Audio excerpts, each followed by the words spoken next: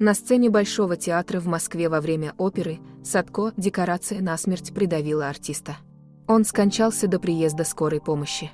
Об этом сообщает источник ТАСС в экстренных службах. Декорация упала на сцене во время оперы и насмерть придавила актера. Он скончался прямо на глазах зрителей, передает издание слова источника. Как сообщил один из зрителей, декорация насмерть придавила 37-летнего артиста мимического ансамбля Евгения Кулеша. В самом начале, когда декорации спускались сверху на сцену, актер не успел отойти. Спектакль прервали. Сначала мы подумали, что это часть спектакля. Был объявлен антракт, а потом сообщили об отмене спектакля, написал мужчина в своем инстаграм-аккаунте. Отмечается, что декорация придавила шею мужчине.